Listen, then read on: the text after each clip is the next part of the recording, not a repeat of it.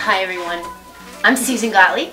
I live in Lancaster, Pennsylvania. I did my um, college here in Millersville with, the Bachelor's in Art Education and I've been teaching for 30, 31 years.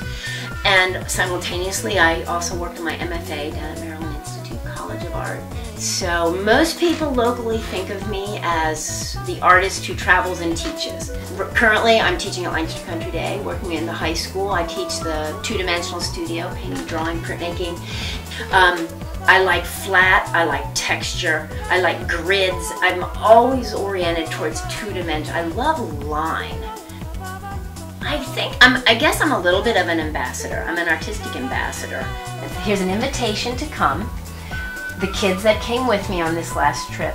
But at the end of the invitation, I do say, I suggest if you do not know what it is, have it. If you do it what you do at home, believe it. And of expectations, have none.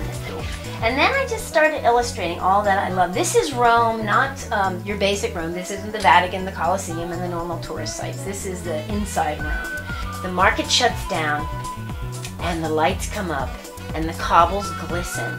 You know, these little, um, I call them butter boards, that I cut for my gelato cones to my puntarella. Two more layouts. Conclusions written. I'm ready to go. It's really just a celebration of life, and, and it's Lancaster County life, and it's the world too.